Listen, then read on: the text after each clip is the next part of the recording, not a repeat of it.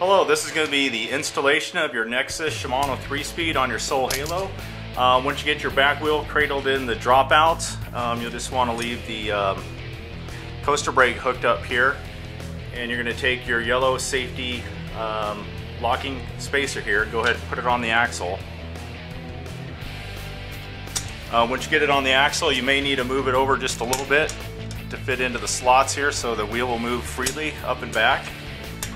And from there, you're gonna go put the acorn nut on here. Just go ahead and hand tighten this on.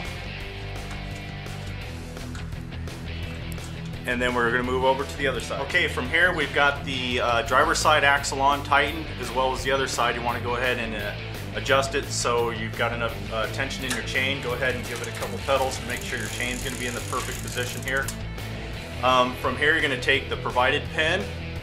There's gonna be one side that's beveled and one side that's not, you're going to take the non-bevel side and go ahead and slide it right into the center of your axle and just press it in. From here, you're just going to take the Nexus uh, mechanical piece and go ahead and just slide it over all the way up to the axle nut and then you're going to go ahead and just tighten this on. Get it snug pretty good. Um, once we have this on, we'll go and go ahead and show you how to uh, adjust it. Okay, from here we're to go ahead and uh, set the gear so it shifts correctly. You just want to go ahead up on your shifter handle on your handlebar, go ahead and click it into second gear.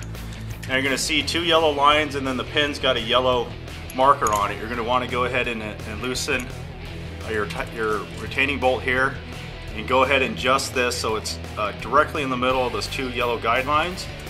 And then you'll just go ahead and tighten your retaining locking bolt up here so the cable doesn't move.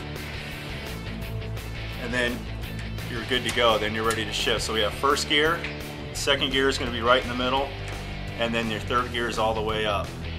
And that concludes uh, getting your Nexus 3-speed Shimano hooked up. Thank you.